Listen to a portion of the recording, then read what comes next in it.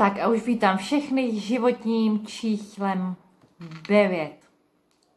Tak, při vašich predikcích na duben. Připomínám, že jsem tu stále pro vás pro osobní výklady a vytvořila jsem i klub pro ty, co vás více zajímají karty. Chtěli byste proniknout do jejich tajemství a objevit i sami sebe. Informace jsou pod videem a já už se pustím do predikcí na měsíc duben. Nejprve všeobecně a pak zas láska a práce. Tak, máme tu ze spodku páže holí, pak dvojku mečů, otočenou šestku pohárů a eso mečů. Tak, vy tu budete ve velkým myšlenkovým rozhodování. Jo, kterou cestou se dá, dá jít za srdcem nebo za láskou. Eh, budete i eh, hodně v takové té nostalgii a ve vzpomínkách. A budete tam mít i nějakou tu vášeň, nabídku na vášeň a rozhodně spoustu nových příležitostí s tím SM mečů. Tak, koukneme se na lásku.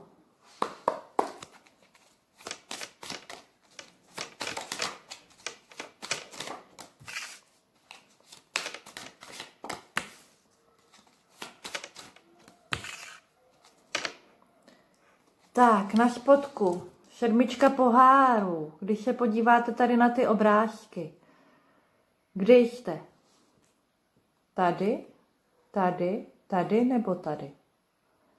Jo, zase tu máte spoustu pohárů, spoustu možností a je to i takový, že si možná neumíte vybrat. Jo, a pak jste z toho takhle sklíčení. Tak, to samé jde desítka pohárů otočená. Vy opravdu máte možnost dosáhnout toho naplnění, ale tady, když se podíváte na tyhle taroty a na tuhle ženu, tak ona na to tak kouká jakoby uh, já nevím, jak bych řekla, jako nostalgicky prostě, jo, jak tady prostě s tou nostalgií.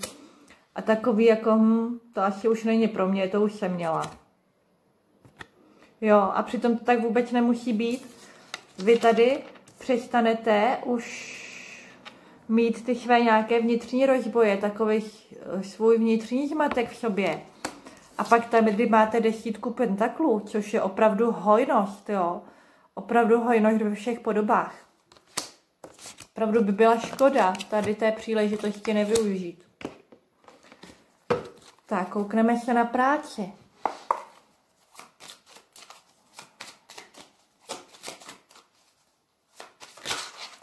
Hop. No a v práci to máte hodně podobné jak v těch vztazích.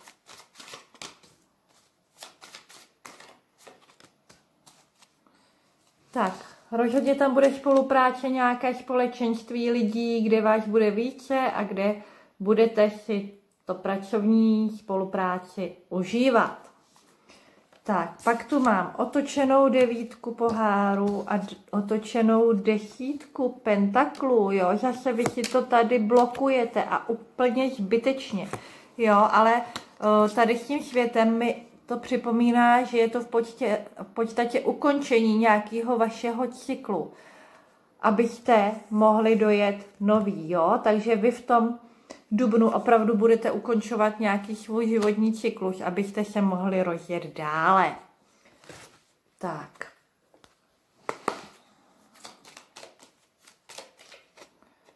No, to přesně říkám. Transformace.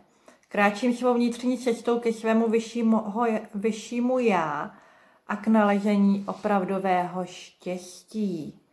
Jo? Vy na to přijdete, vy se k té hojnosti dostanete, ty desítky těch pentaklů. Ale opravdu je třeba se tam dokončit ten cyklus. Nechávám chtěla otevřené, jakým způsobem se moje přání má v životě splnit, jo? To znamená, dejte si záměr, dělejte kroky pro něho uskutečnění, ale nelpěte na tom. Nechejte to zcela volně.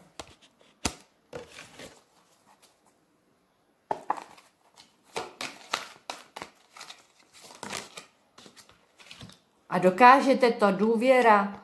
V těžkých chvílích si pamatujte, ty, ten, kým si myslíte, že jste, tento problém nezvládne, ale ten, kým skutečně jste, to dokáže. Jo, nevzdávejte to, dokážete cokoliv, mějte tu důvěru sami v sebe. Tak, koukneme se na andělské vzkazy.